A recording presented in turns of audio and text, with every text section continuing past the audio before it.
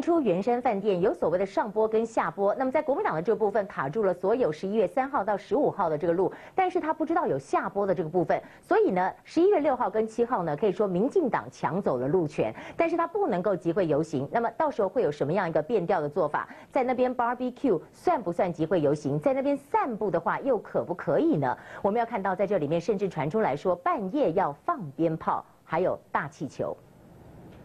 山饭店外点亮炮竹，民进党要让陈玉玲听见也看见属于台湾人的声音。好不容易接到圆山饭店下坡路权，民党不能游行，不能集会，就这段路，他们打算做定点突袭。民党还将准备一万颗这样大小的气球，让陈玉玲看见。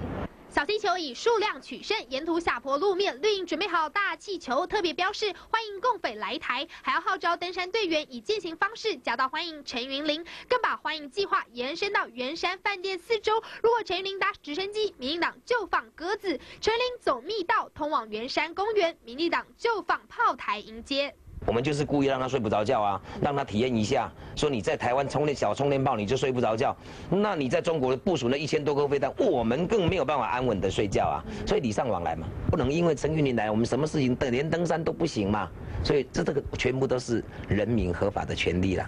让陈玉林走到哪都看得见绿营的欢迎，不能正面迎击，民进党以侧面突袭，在法律边缘钻维安漏洞。专线王树明、唐光南台北采访报道。